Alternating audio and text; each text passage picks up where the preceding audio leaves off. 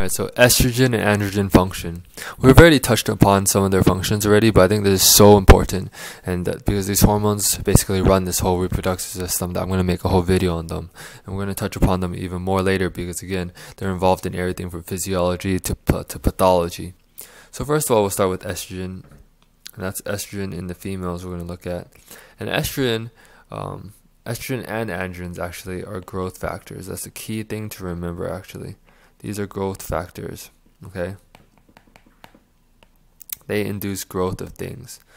So estrogen, what does it what does it induce growth of? First of all, do you remember um, what it does to to the genitalia? It induces growth of the external genitalia, and that happens in utero, external genitalia.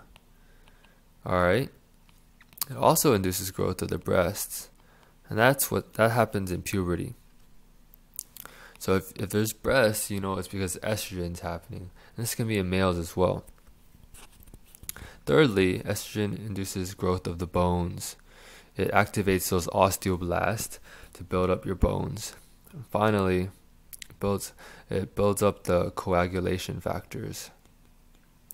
Um, and this kind of makes sense if you think about it. The reason for this is is for pregnancy. You watch any movie, you know that the woman who dies during pregnancy she bleeds out. So um, evolutionarily, we have developed this estrogen to induce these increased coagulation factors to prevent that from happening. All right, so we've talked about estrogen. Now we're going to switch over. We're going to go talk about androgens, and androgens are referring to testosterone and, and DHT. Remember DHT, what is it? It's just basically super powerful testosterone. And how do you get DHT? Remember it's from the 5 alpha reductase. Okay? And we're going to talk about their functions early in life. Early. This is like in utero. And we're going to talk about it later. That's um, puberty onward. Okay? So, what does testosterone do in utero? We just talked about this. It induces growth of the internal genitalia from what? From the Wolffian ducts.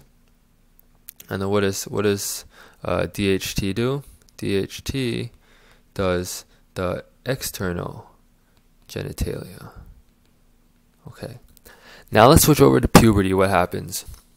Well, testosterone basically runs puberty you have puberty in males because you have testosterone, okay? And all you have to do is remember what happened to yourself. Um, mainly, uh, especially for guys, it's a little easier, but all those changes in puberty, that's all due to testosterone. So you get growth. Again, remember, estrogen and androgens are growth factors, so it's super easy.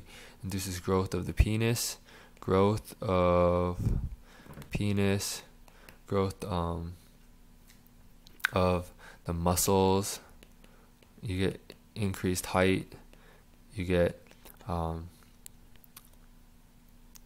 and you get deepening voice. So all that, all those things, just remember. You don't have to memorize any of this. Just think about what happened to yourself, and what happens in DHT. Well, DHT later in life is is unfortunately unwanted. It has a lot of unwanted effects. DHT will increase prostate growth. Again, there's the growth, and it causes balding. So this is the one thing that doesn't grow, causes you to lose hair rather than grow hair, unfortunately. Um, and now we're going to talk about one last thing, which is relevant. It's we're going to talk about the effects of exogenous testosterone. Whoops, sorry, making y'all dizzy here. Test. And I postulate to you that if you know this hypothalamic pituitary axis well enough, if you know it by heart down cold, you will know exactly what will happen with exogenous testosterone. Okay, so now we have the testicle. Okay, with um, so now we have these blood vessels going to the hypothalamus and to the um, anterior pituitary.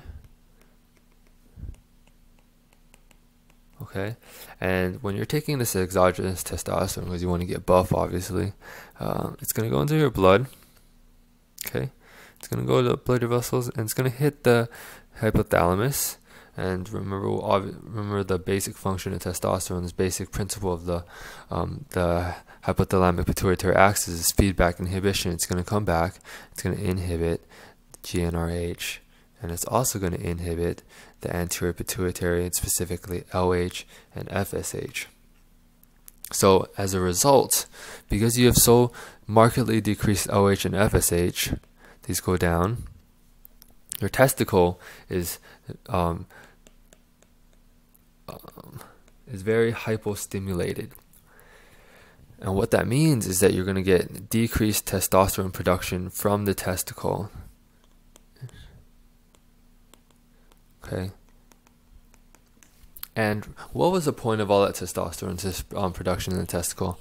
Well, obviously, it's for um, you need it for the rest of your body, but specifically, you need it for sperm production. Okay, so if you have decreased intratesticular testosterone, remember you have a lot of exogenous testosterone in your blood, but there's decreased intratesticular testosterone. Um, remember that that that blood that testosterone in the blood can't get to the sperm because of that that um, blood testes barrier. So your sperm production is going to go way down. Okay, and you that is basically azoospermia, which is very low levels of sperm. All right, so that's it for our androgen and estrogen functions. All right, the other thing I wanted to note. Let me clear this board first. Excuse me. Sorry about that. So the other thing I wanted to note is that I've been talking about estrogen in females and androgens in males, but I want you to understand that males can have estrogen as well. Males also have fat cells, and these fat cells have aromatase. So you can get the aromatase in fat cells taking the remember what it does? It takes androgens and turns it into estrogens. So you can get uh, estrogens in females as well. Estrogen has the same has the same function in males and females. It doesn't change anything. So remember that the estrogen. First of all, if you have enough estrogen, you can get development of the um. You can get development of breast. And there's other things, coagulation factors, um, and remember, I told you about bones. It does the same thing in males and females. Okay, and the same thing for females. They can have androgens. They they already do have androgens. You already know that. Um, they already know that the Leydig cells are producing androgens, but normally those androgens we turn them into uh, we turn them into estrogen. But if you don't, if for some reason you're not making that estrogen, you get built up too much androgens, you're gonna have the same thing. You're gonna have virilization, which is what it's called. And that's basically if you imagine a girl going through the same puberty that a boy does and getting that hair growth and deepening of the voice, that's virilization. So that's it. That's something, a little thing I wanted to add to make things clear.